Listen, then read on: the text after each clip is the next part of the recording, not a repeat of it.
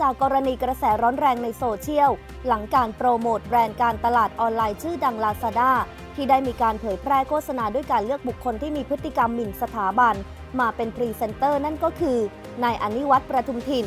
หรือที่รู้จักกันในชื่อนาราเครปกระเทย รวมไปถึงหนูรัตน์ธิดาพรชาวกูเวียง พร้อมทั้งทำคอนเทนต์ที่มีการหมิ่นสถาบันอย่างชัดเจน กระทั่งศูนย์ทนายความเพื่อสิทธิมนุษยชนรายงานว่า กิติคุณธรรมกิติราช หรือมัมดิวจากเพจมัมดิวไดอารี่ ถูกเจ้าหน้าที่ตำรวจเข้าแสดงหมายจับที่บ้านพัก ในข้อหาตามมาตรา 112 โดยเป็นคดีของกองบังคับการปราบปราม การกระทำความผิดเกี่ยวกับอาชญากรรมทางเทคโนโลยี หรือบก.ปอท. ไปเป็นที่เรียบร้อยแล้วนั้น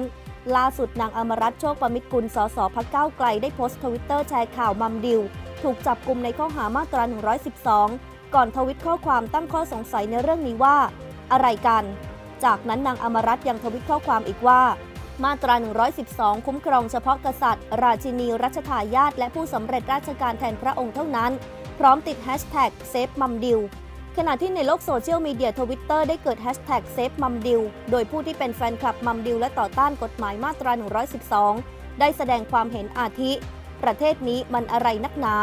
ปอทแจ้ง 112 กับมัมดิว บอกในเหตุการณ์ทำโฆษณาลาซาด้า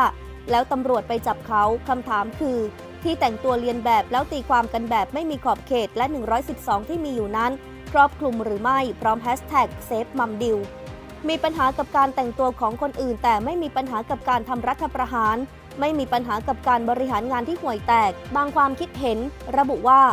ผู้นำเป็นยังไง ลิ้วล้อก็เป็นแบบนั้น มันคือเรื่องจริง copy paste เหมือนกัน แต่ในเรื่องแย่ๆ ยืนยันในหลักการว่าทุกคนมีสิทธิเสรีภาพในการแต่งกายด้วยเงินของตัวเอง ถ้าแต่งตัวแล้วโดน อีกหน่อยก็ห้ามใส่ชุดผ้าไหมไทย ห้ามทำผมแบบนั้นไปเลยค่ะ ขณะที่ทวิตเตอร์กลุ่มทะลุแก๊สระบุว่า สิ่งนี้แสดงให้เห็นถึงขอบเขตที่ไม่ชัดเจนของกฎหมาย 112 จนสามารถใช้หวานแหและกลายเป็นเครื่องมือโจมตีกลั่นแกล้งทางการเมืองของคนบางกลุ่ม